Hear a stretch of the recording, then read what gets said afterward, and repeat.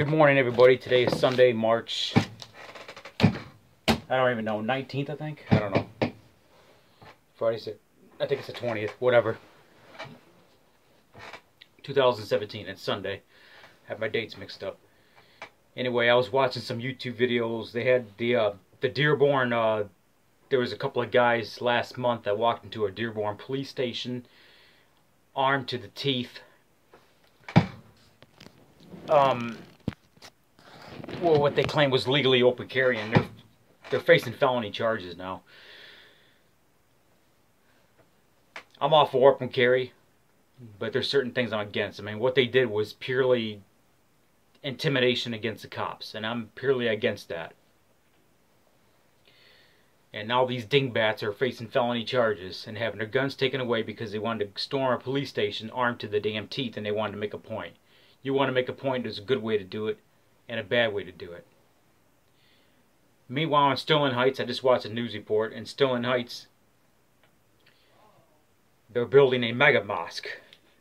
Yeah, that's my hat. Make America great again. I know it's kind of dark. You really can't see it that well. A camera lens.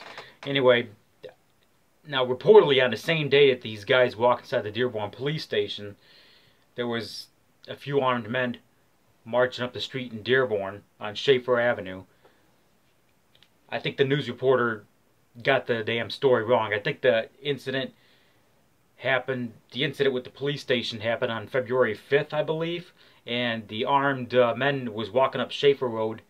I think that would happen on February 19th. Now, the news reporter said she got that it would happen on the same day, coincidentally. I think she got her days wrong. Because I just watched an arraignment maybe I'm wrong, I don't know, but I just watched a, a YouTube video of Detroit News where the two guys that walked inside the police station in Dearborn were being arraigned. They were being arraigned on felony charges.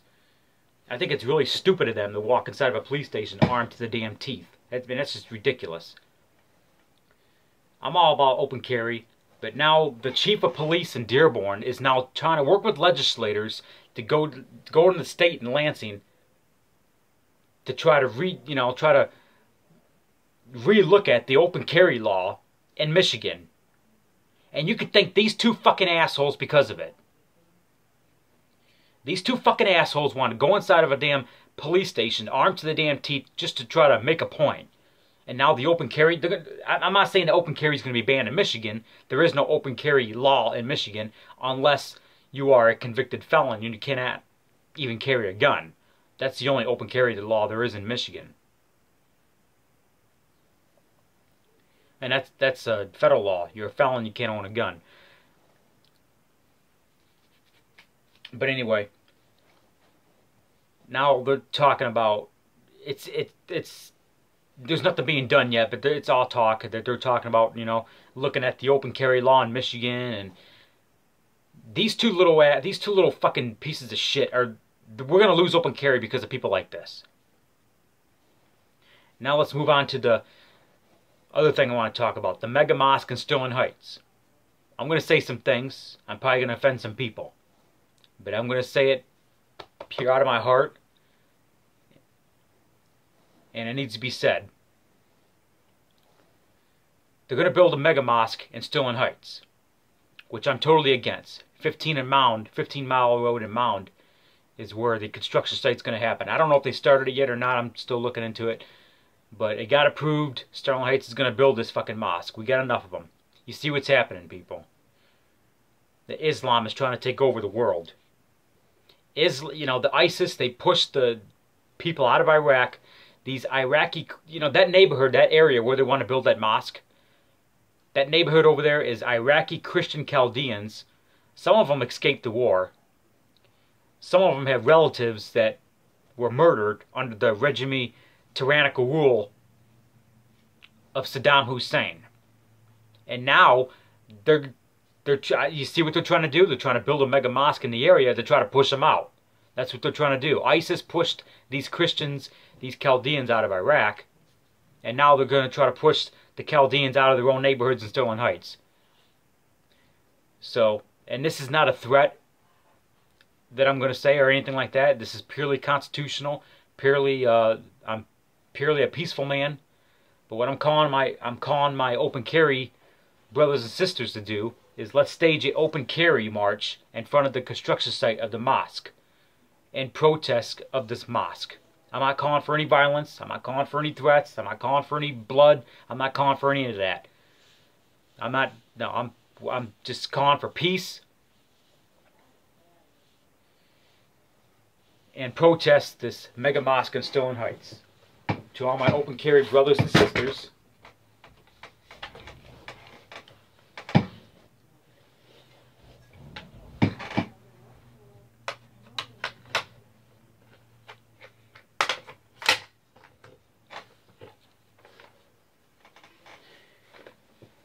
in Sterling Heights, Michigan.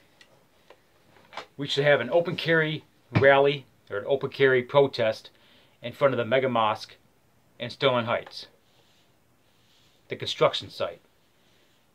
I'm not calling for any violence.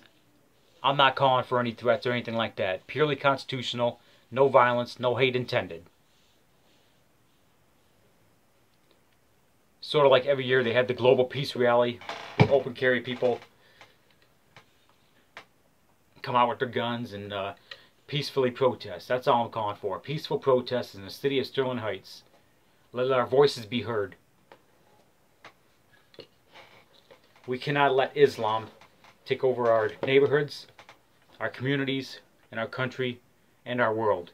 We must defeat Islam everywhere it's at. We are the infidels. Muhammad was a pedophile, okay? He married a five-year-old. And Muslims are the servant of Satan.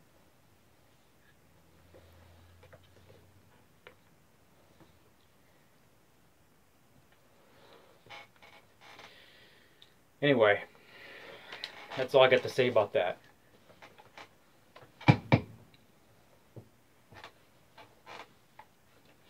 Islam is a death religion. I'm telling you right now. There's nothing peaceful about it. When they're talking about beating the hell out of women, when they're talking about raping women and beating the hell and stoning rape victims, and, you know, women can't even hold driver's license, they can't hold jobs, and they must shield themselves in public, shield their faces or whatever, so other guys don't drool on them or, or, or you know, perv on them or whatever the hell they said. Got to shield their faces, and it's just it's sick. The shit that they they they stick up for. I mean, it's just it's just ridiculous. I mean, what kind of shit religion is Islam? You know what I mean? This is not a religion of peace. It's a religion of death. It is a damn death cult. And they're, they're, you see what's happening in the Middle East, where ISIS is moving from country to country. They're going from village to village, killing Christians, chopping their heads off. You see it all the time on Al Jazeera TV. It's sickening. And now they're trying to put, you know, these, these Iraqi Christians in this neighborhood in Sterling Heights. They're living in peace. And now they're trying to push them out of the damn neighborhood by building a mega mosque in the area. It's absolutely ridiculous.